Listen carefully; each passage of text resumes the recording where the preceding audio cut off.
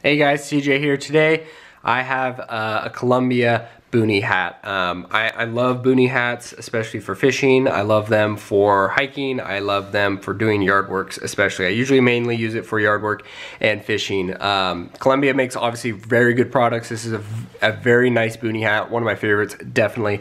Very thin material right here, so, and the mesh uh, meshing right here so it, you get a lot of airflow, a lot of good breeze. It's got the uh, moisture wicking uh, headband in there so all your sweat will just kind of uh, wick away. Um, and then you know, it'll hold the water, like the mesh will just let it dry. It repels kind of like the water and all that kind of stuff. It's got UPF uh, 50 sun protection, so you know you're gonna get some good protection with this, wearing this. Um, and you can cinch this back down here to tighten it to get a little bit more custom fit.